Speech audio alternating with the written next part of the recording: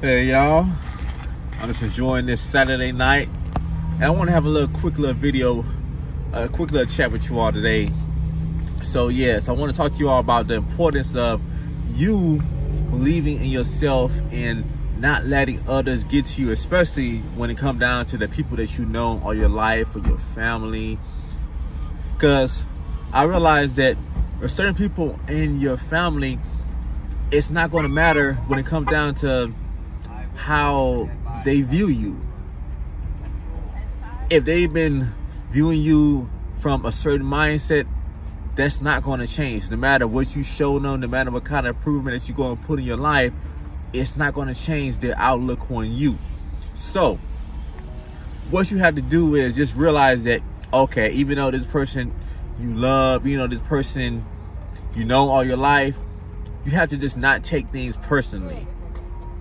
That's what, even though it's easier said than done, but it is just so, so real. Otherwise, they would drive you crazy. They come down to how they view things that you should do it their way.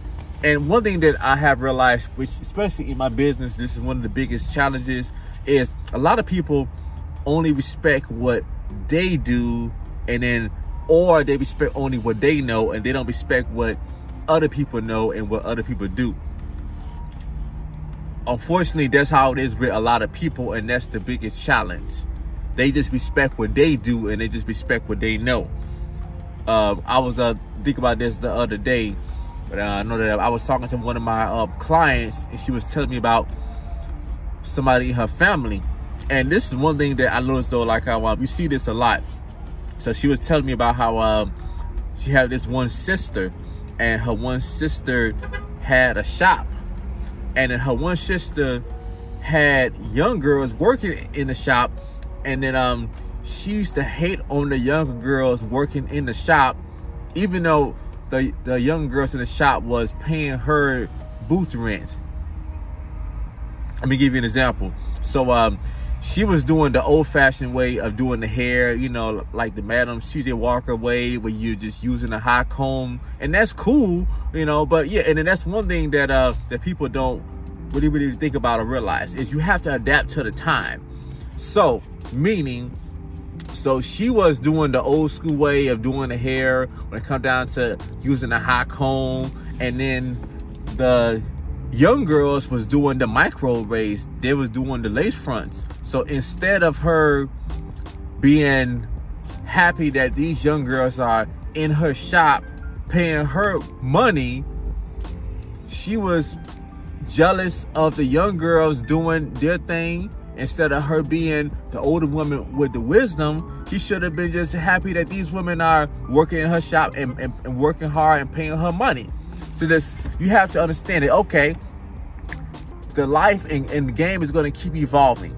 So that's one thing that I was thinking about though. I was thinking about like how when I get older, even 50, 60, 70, I'm gonna always make sure that I keep up with the times and then I'm not gonna just you know just look at young people and always trying to son them or talk uh, uh, talk to them in like a fatherly manner. I'm gonna just keep up with the time and I'm gonna keep up with technology.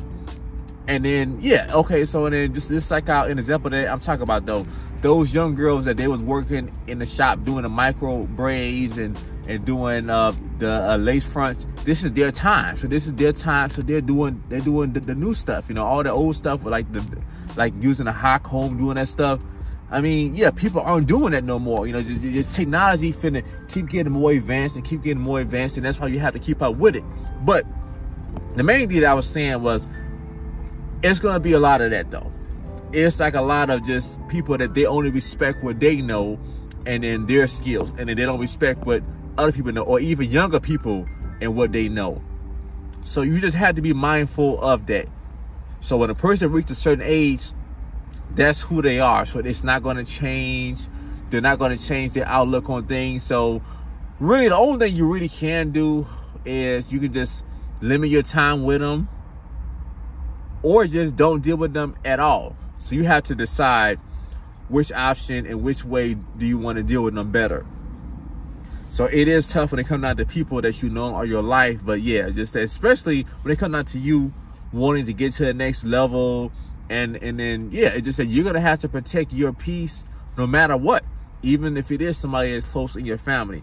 So that's why now one thing that I realized that now that I gotten better at doing is for the most part now, I don't even tell people the things that I have going on or the things that that I'm trying to get off of off of the ground. I might just tell with just mainly my moms, but for the most part, I, I have developed a habit of me just keeping those things to myself until everything happens. Cause one thing that's good about it is by you keeping it to yourself, if things don't work out, you don't have to have to worry about people saying this about it or talking about you because you just kept it to yourself.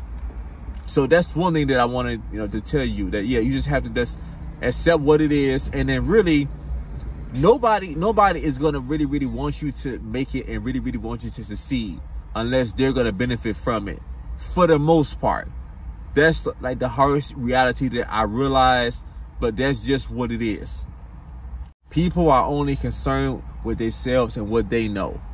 Unless you got some rotted out people who really really love you and really really care but for the most part it's not like that people are only concerned with themselves and then they're gonna see you and view you a certain kind of way no matter what. Especially that's one of the reasons that I was thinking about this though, because uh, lately I've been um I've been into Proverbs a lot. I've been reading a lot, listening to it a lot, and I see why I see why Jesus didn't perform miracles in his hometown because people was looking at him like that's just Jesus. Oh, that's Jesus.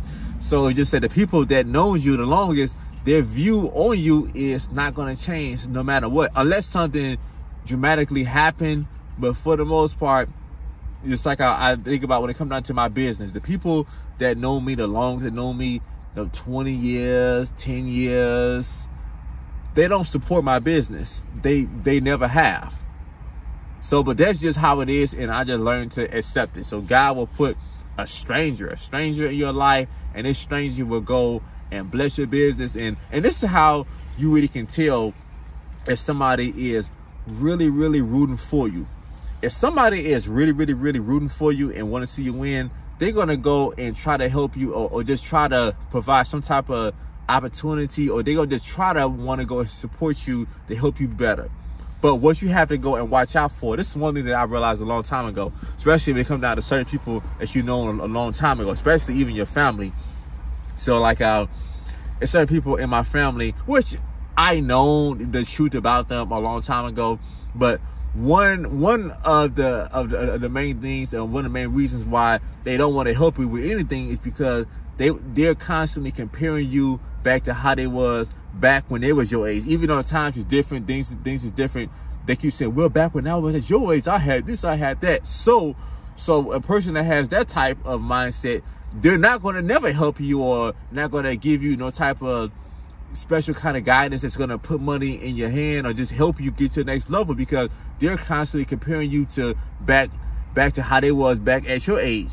So they're not going to give you no game that's going to really, really help you change your life and, and, and, get your finances in order or get to the next level. No, because they want to just keep comparing you back to how they was back when you was, uh, no, back when they was your age. So, but yeah, but if a person really, really, really fuck with you, seriously, they're gonna go and want to help you in some kind of way. When it come down to just wanting to support you, wanting to just help you any kind of way, want to help you, you know, get to the next level. Not just somebody just giving you some type of BS or just I say just uh, relationship advice. I mean that's whatever. I think you know, but the person really, really want to help you, they're gonna give you some ideas and help you get to the next level when it come down to you improving your life with your finances or some type of opportunity or support you, they, they're going to do one of the three. If a person is not doing that, that's really how you can tell right away that the person don't like you and they don't want to see you succeed. So, all right, y'all. So that's just uh, my two cents on that. So I want you all to be safe, and I want you all to think about that though. And remember, you cannot change people's viewpoints on you, especially people that known you a long time ago. I got people, I got people in my life now that I'm closest to them. You know, um, than my actual family. Because yeah, because they're always wanting to this in, in, some kind of way they want to help me, and even though I help them too, but just uh, you could just tell. And how about this? I see it clear as day. God will put strangers in your life, and this stranger will want to help you and see you succeed more than the people who known you your whole life. So that's just how it is. So, all right, y'all. I know that I ran it a little bit, but I really, really wanted to share that message, and I want you all to just remember: nobody is gonna support you like yourself. You was there. You you're the one that been through everything. So I want you all to just give credit to yourself, and I want you all to work on still being patient with yourself. You're going through the fire, and then when you come out this fire, you're gonna be like gold. I see you all. Like, share, and subscribe, and I see you all next time.